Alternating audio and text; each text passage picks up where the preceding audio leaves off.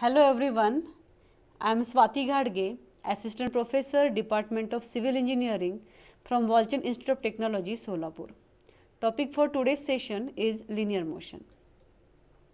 Learning outcome of this session at the end of this session, learner will be able to determine displacement, velocity, acceleration and time of any object which is in linear motion. Let us see first what is meant by displacement and distance. Distance it is a scalar quantity since it has only magnitude. But the displacement it is defined as the linear distance between two position of body in the beginning and at the end of time interval. Since displacement has the magnitude and direction, it is a vector quantity. Unit of displacement is meter. Velocity and speed. The rate of change of distance with respect to time is speed and the rate of change of displacement with respect to time is called as velocity.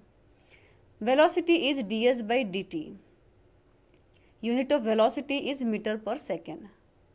Acceleration and retardation.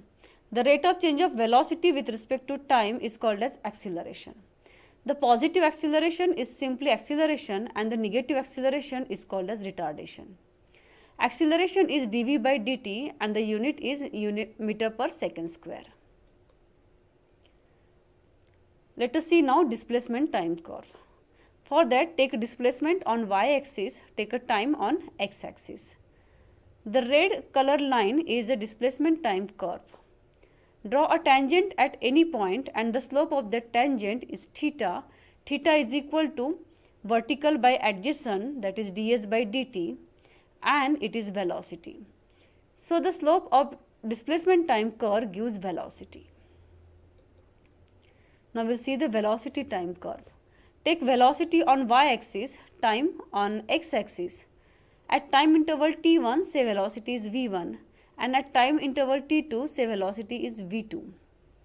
So for the, for the small uh, interval of time, say dt, the velocity is dv and at any point of the curve draw a tangent and the slope of that tangent is theta is dv by dt and it is acceleration.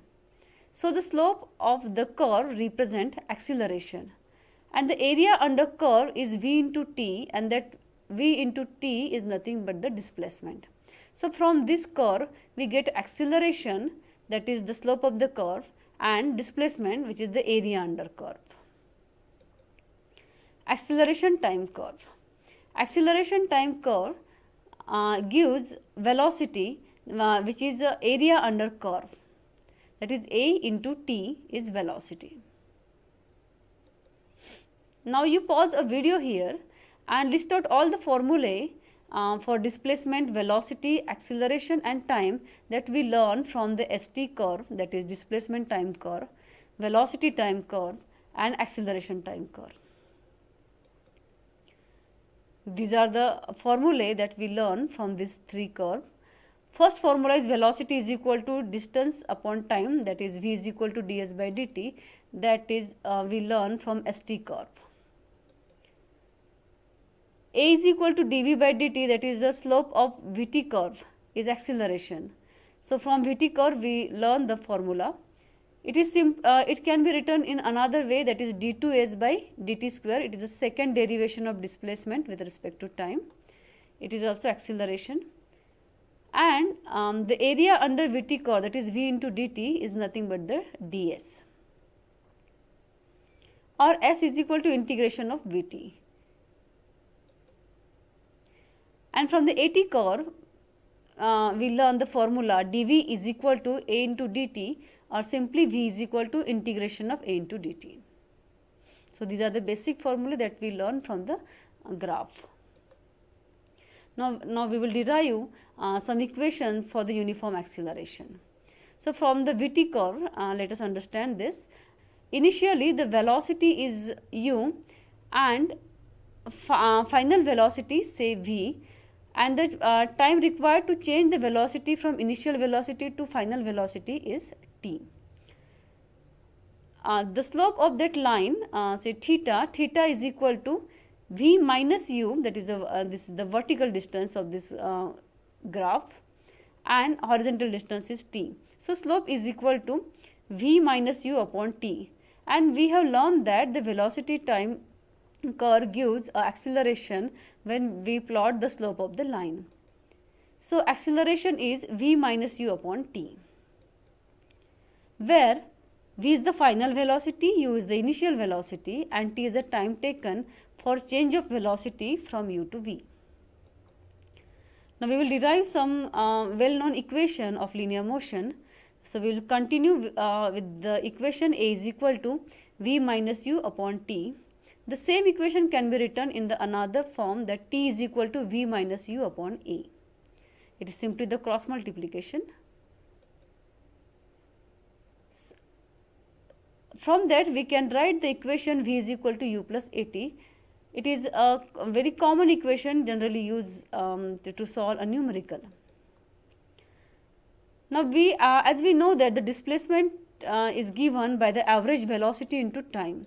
So s is equal to average velocity means v plus u divided by 2 into time. Now in that equation put v is equal to u plus at what we will get s is equal to u plus u plus at divided by 2 into t. So this, this is the second common equation that is s is equal to ut plus half of at square. They all they all are derived from the same uh, equation that is a is equal to v minus u upon t. Now we will derive the third equation um, we will continue from the uh, displacement uh, is uh, average velocity into time. Put t of t is equal to v minus u upon a. Put in the equation. After putting we get s is equal to v square minus u square upon 2a. Or simply we can write the same equation in the another form v square minus u square is equal to twice as. So all the equations I highlighted in a red color are the commonly uh, used in the linear motion um, uh, uh, equation to solve the numerical. So please remember that equation we will uh, with the help of that equation now we will solve that numerical. Question is a small steel ball is shot vertically upward from the top of the building 25 meter above the ground with an initial velocity of 18 meter per second. In what time it will reach the maximum height?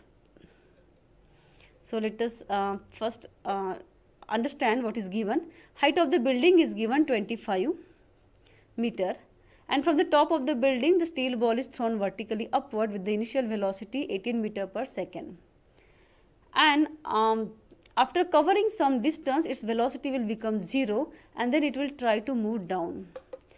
Our question is at what time it will reach at this point where the velocity is 0. So, uh, let us first sort out the given data uh, what is given initial velocity is given 18 per meter second uh, it is we are talking for particularly upward motion. When it is moving vertically upward in that case uh, initial velocity is given 18 meter per second. Final velocity is given 0 acceleration is uh, minus 9.81 meter per second square. Minus 9.81 because it is uh, moving against gravity. And the displacement is shown in the figure as h. So take s is equal to h. And the time taken to reach maximum height, uh, take it as a t1.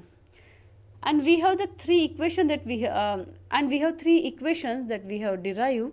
Um, v is equal to u plus at, s is equal to ut plus half at square, v square minus u square is equal to twice as.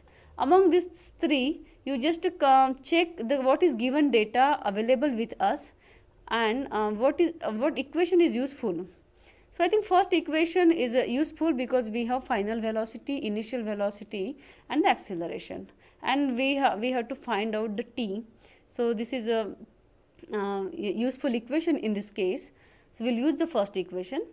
Put v is equal to 0 initial velocity is 18 acceleration is minus 9.81 t is t1 and find out t1 so we'll get T1 is 1.83 second.